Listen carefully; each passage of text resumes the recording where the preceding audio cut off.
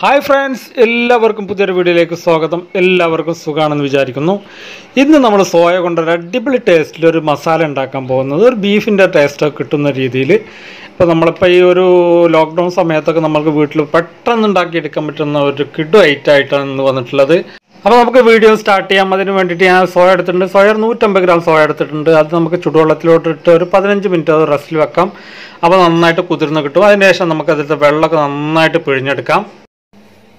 ഇപ്പൊ സോയാബീൻ ഒരു പതിനഞ്ച് മിനിറ്റ് സമയമൊക്കെ ആയിട്ടുണ്ട്. ഞാൻ അതിൽ വെള്ളമൊക്കെ നന്നായിട്ട് ഊറ്റി വെച്ചിട്ടുണ്ട്.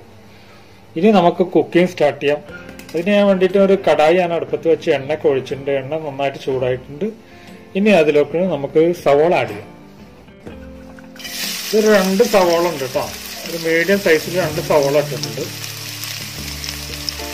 ഇത് നന്നായിട്ടൊന്ന് വഴച്ചെടുക്കാം ഇതിലേക്ക് നമുക്ക് ആവശ്യത്തിന് ഉപ്പും കൂടി ആഡ് ചെയ്യാം.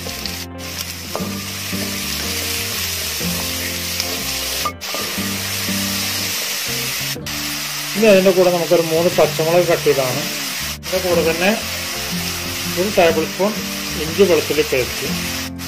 അതിന്റെ കൂടെ രണ്ട് തണ്ട് കറിവേപ്പിനും കൂടി ആകും ഇനി ഇതൊന്ന് വഴച്ചെടുക്കുക ഉള്ളി ഒരു നന്നായിട്ട് കളറ് മാറുന്നത് വരെ നമുക്കൊന്ന് വഴച്ചെടുക്കാം ഇപ്പോൾ ഉള്ളി നന്നായിട്ട് വഴണ്ട് വന്നിട്ടുണ്ട്. അതിലോട്ട് തന്നെ നമുക്ക് മസാലകൾ ആഡ് ചെയ്യാം. ഒരു അര ടീസ്പൂണ് മഞ്ഞൾപ്പൊടി ആഡ് ചെയ്തിട്ടുണ്ട്. ഒരു ടേബിൾ സ്പൂണ് മല്ലിപ്പൊടി ആഡ് ചെയ്തിട്ടുണ്ട്. അതുപോലെ ഒരു ഒന്നര ടേബിൾ സ്പൂൺ മുളക് പൊടി കൂടി ആഡ് ചെയ്യുന്നുണ്ട്. അതുപോലെ തന്നെ ഒരു ടേബിൾ സ്പൂണ് ചിക്കൻ മസാലയാണ് ആഡ് ചെയ്യുന്നത്. ഇനി ഇതിന്റെ ഒരു പച്ചമണം മാറുന്നത് വരെ നമുക്കൊന്ന് വഴറ്റിയെടുക്കാം കുറച്ച് ചൂടുവെള്ളം ഒഴിച്ചിട്ട് വഴറ്റിയെടുത്താൽ മതി. കാരണം തക്കാളി ഇല്ലാത്തതുകൊണ്ട് നമുക്ക് വെള്ളത്തിന്റെ അംശം കുറവാണ്. നമ്മൾ തക്കാളി ഇതിൽ ചേർക്കണം. വെള്ളത്തിന്റെ അംശം കുറവാകുമ്പോൾ നമ്മൾ മസാല കരിഞ്ഞു പോകും.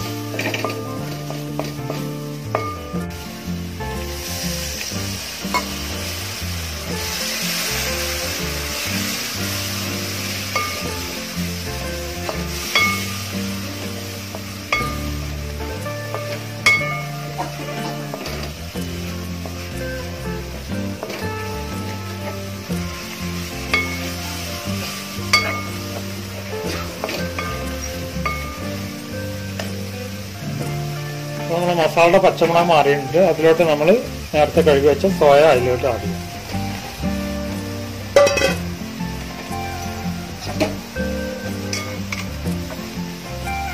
ഇനി ഇത് നന്നായിട്ടൊന്ന് മിക്സ് ചെയ്തെടുക്കാം.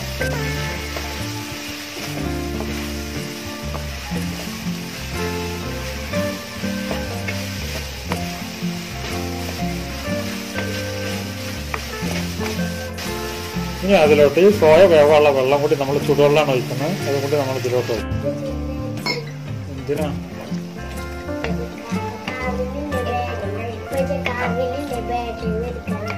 അതെ ബാക്കി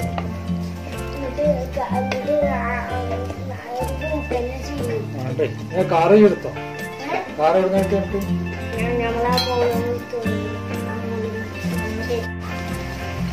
ഇത് തിളച്ച് തുടങ്ങിയിട്ടുണ്ട്. അതിലോട്ട് കുറച്ച് മല്ലിയില കൂടെ ചേർക്കുന്നുണ്ട്. ഇനി നമുക്കിത് അടച്ചു വെച്ചിട്ട് ഇതിന്റെ വേവാകുന്നവരെ ഒരു പത്ത് മിനിറ്റ് സമയം ഒന്ന് വേവിക്കേണ്ടി വരും.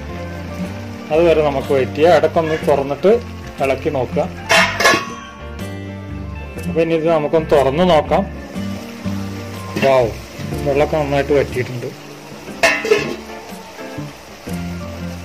ഇനി ഒരു രണ്ട് മിനിറ്റ് സമയം അത് തുറന്നിട്ടിട്ടൊന്ന് വേവിച്ചാൽ നല്ല ഡ്രൈ ആയി വരും.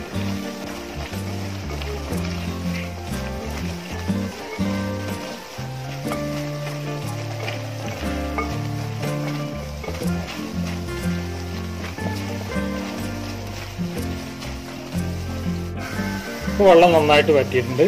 ഇനി അതിലോട്ട് ഒരു നാരങ്ങയുടെ പകുതി കൊണ്ട് നമുക്ക് അതിന്റെ നീരൊന്ന് അതിലോട്ട് ഒഴിക്കാം.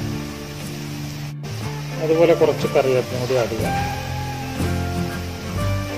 ഒരു അര ടീസ്പൂൺ ഗരം മസാല നമുക്ക് അതിന്റെ മുകളിലോട്ട് ഒന്ന് സ്പ്രെഡ് ചെയ്ത് വിടാം ഏകദേശം കുറച്ച് പച്ച വെളിച്ചെണ്ണ. ഞാനത് കുറച്ചൊന്ന് അത് നാടൻ രീതിയിലായി വരാൻ വേണ്ടിയിട്ട്. ഇനി ഇത് നന്നായിട്ടൊന്ന് മിക്സ് ചെയ്യാം. വെളിച്ചെണ്ണയും ഗരം മസാലയും ഒഴിച്ചപ്പോൾ നല്ലൊരു സ്മെല്ല് അത് സൂപ്പറായിട്ടുള്ള സ്മെല്ല് ഇങ്ങനെ അടിച്ചു വരുന്നു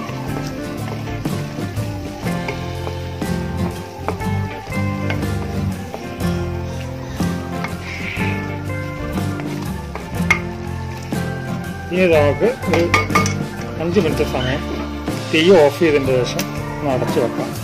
അതിനുശേഷം നമുക്ക് സെർവ് ചെയ്യാം. അപ്പൊ എല്ലാവർക്കും ഈ വീഡിയോ ഇഷ്ടപ്പെട്ടെന്ന് കരുതുന്നു. വീഡിയോ ഇഷ്ടപ്പെട്ട് കഴിഞ്ഞാൽ ഈ വീഡിയോക്ക് താഴെ പോയിട്ട് എന്റെ ചാനൽ സബ്സ്ക്രൈബ് ചെയ്യുക. വീഡിയോ ഒന്ന് ലൈക്ക് ചെയ്യുക. ഷെയർ ചെയ്യുക. മാക്സിമം സപ്പോർട്ട് ചെയ്യുക. അപ്പോൾ ഒക്കെ ഇതുപോലത്തെ ഒരു അടിപൊളി റെസിപ്പിയുമായി അടുത്ത വീഡിയോയിൽ കാണുമ്പോഴേക്കും. Good bye